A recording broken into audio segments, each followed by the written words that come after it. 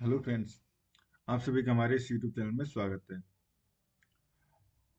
Friends इससे previous video में हमने लीनियरली डिपेंडेंस और लीनियरली इंडिपेंडेंस वेक्टर्स पढ़े थे। उसके बाद हमने पढ़ा था बेसिस और इस पे, इस वीडियो में जो पढ़ेंगे, वो पढ़ेंगे हम dimension of a vector space तो बेसिकली वेक्टर स्पेस की डायमेंशन क्या होती है, वो हम इस वीडियो में देखेंगे।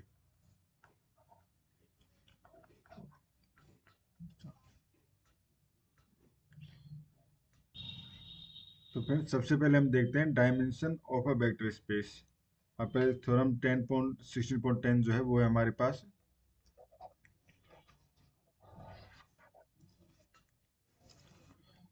Let V be a vector space कि वी जो है, वो वेक्टर स्पेस है।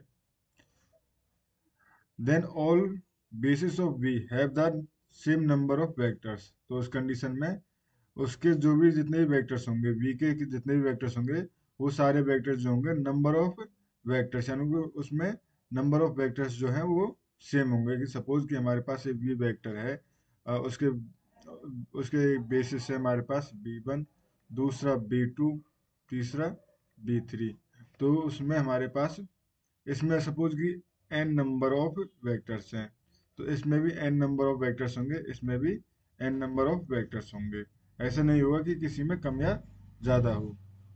तो इसको हम प्रूव भी कर सकते हैं। We will prove the theorem for the case V बराबर R N we already know that the standard vectors जो है E one E two dot dot E N is the basis for R N अब ये हमारे पास ये है E one E two dot dot E N R N जो है। अब सपोज़ कि हमारे पास एक केस ले लेते हैं कि नंबर ऑफ़ बेसिस जिसमें एन से कम है यानी एन से कम सपोज़ के तो उस कंडीशन में हमने इस, इस जो प्रीवियस वीडियो थी उसमें देखा था अगर हमारे पास V one V two dot dot V K हमारे पास बेसिस के एलिमेंट हैं और ये के जो है वो लेस देन एन है। तो उस कंडीशन में इसको हम इस फॉर्म में लिख ही नहीं पाएँगे। E one E two dot dot E K E N की फॉर्म में लिख ही नहीं पाएँगे क्योंकि यहाँ पे वेक्टर सी कम है।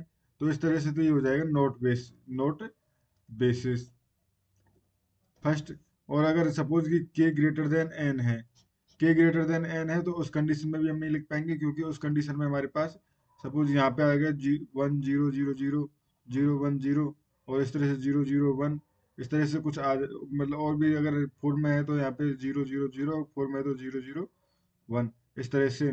बट अगर हम जब बात करेंगे कि अगर ज़्यादा है तो ज़्यादा होने की केस में एक वेक्टर जो है एक्स्ट्रा ऐड होकर आएगा, वो एक्स्ट्रा सपोज़ कि zero one two zero zero zero जो कि इसके इक्वलेंट आ जाएगा ना किसी किसी वेक्टर जो प्रीवियस वेक्टर्स वेक्टर्स के किसी ना किसी के इक्वलेंट आएगा तो इस कंडीशन में कहेंगे ये जो है वेक्टर्स वो लीनियरली डिपेंडेंट है।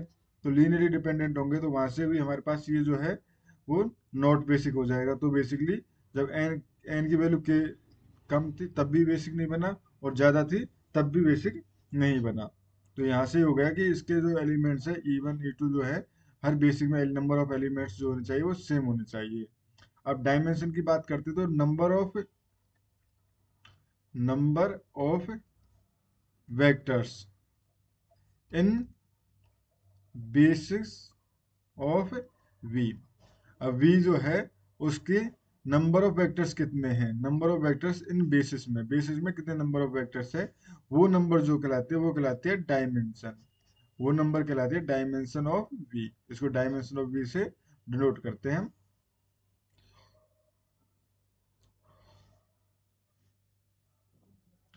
अब फ्रेंड्स जैसे यहाँ पे, इसकी ये थ्योरम भी है, यहाँ से देख सकते हैं हम। Let v be a vector space, then dimension of v, denoted by dimension of v, is the number of vectors in the basis of v, जो हमने अभी पढ़ा था, और the dimension of the trivial vector space जो trivial vector space की जो dimension होती है, वो होती है हमारे पास zero is defined by the zero trivial vector space की जो डायमेंशन होती है, वो ज़ीरो होती है। आ, उसके बाद हमारे पास बेसिकली ट्रेवल डायमेंशन कौन कौन सा होता है? E one E two vector space sorry trivial vector space जो होता है वो हमारे पास ज़ीरो वेक्टर स्पेस या पूरा होल जो है वो ट्रेवल वेक्टर स्पेस होता है। और यहाँ पे हमारे पास एक थ्योरम नेक्स्ट थ्योरम है हमारे पास लेट बी बराबर B one dot dot B N B vector in R N ये वेक्टर है आर एन में। If B is linearly independent then B is the basis of R N ये हमारे पास कह रहा है कि बी जो है, अगर ये इस तरह से वेक्टर इन आर एन है और अगर बी जो है वो लीनियरली इंडिपेंडेंट है देन बी जो है वो बेसिक कहलाएगा आर एन का। और या इस फॉर्म में हम कह सकते हैं, या कह सकते हैं, और if span of V one V two dot dot V N equal to R N then B is basis of R N तो इन दोनों में से कोई भी कंडीशन अगर होल्ड कर रही है तो बी जो है वो बेसिक कहलाएगा आर एन का।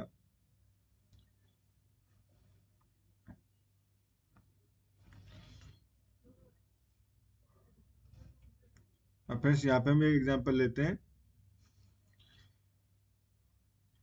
एग्जांपल है, हमारे पास do the column of matrix A for the basis of R four ये हमारे पास ए बराबर ये है। अब तो इसको चेक करने के लिए let V one V two V three V four denote the column of A यानी ये वी वन है, ये V two V three and V four since we have N बराबर फोर तो एन बराबर वेक्टर इन आर एन जो we need to check that the they are linearly independent linearly independent या dependent है, ये चेक करना होगा हमें। तो ये चेक करने के लिए हमें बेसिकली इसकी रैंक देखनी होगी। और रैंक देखते हैं तो रैंक जब हम देखेंगे रैंक देख सकते हैं और या डेट ये, अगर रैंक भी देखेंगे तो रैंक भी इसकी फोर आएगी। और डेट ये यानी कि इसका मोड जो है डिटर्मिनेंट जो है वो not equal to zero determinant जो है वो नॉट इक्वल टू ज़ीरो अगर नॉट इक्वल टू ज़ीरो है तो उसकी रैंक ऑटोमेटिकली फोर हो जाएगी। एन जितने क्रॉस एन क्रॉस एन का है तो एन रैंक हो जाएगी। तो यहाँ से कह सकते हैं हेंस रैंक ए बराबर फोर दस तक column of A are linearly independent तो उस कंडीशन में ये जो कॉलम्स हैं वो लीनियरली इंडिपेंडेंट होंगे।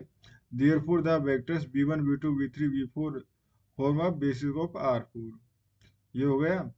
अब यहाँ से हमारे पास एक कुछ रिज़ल्ट है हमारे पास ये देख लेते हैं।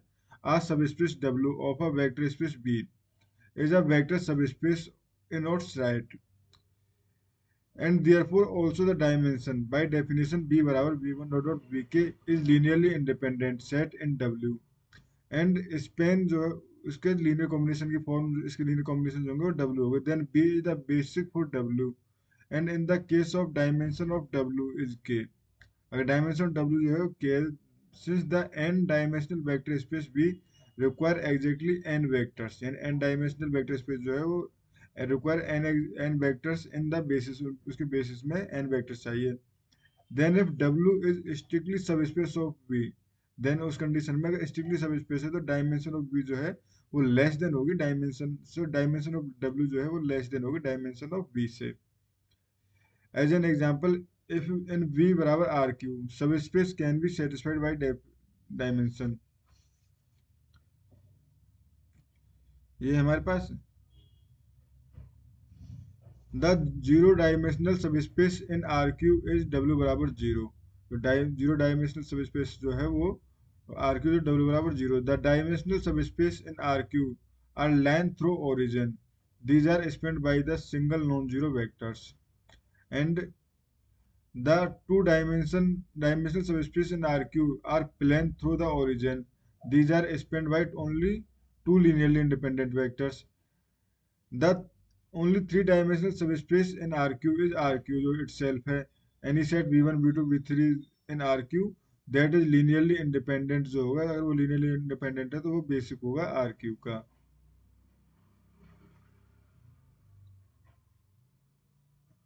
फ्रेंड्स ये एक नेक्स्ट एग्जांपल है। ये एग्जांपल आप नेक्स्ट वीडियो में हम दो एग्जांपल लेंगे तो नेक्स्ट वीडियो में हम एग्जांपल सॉल्व करेंगे।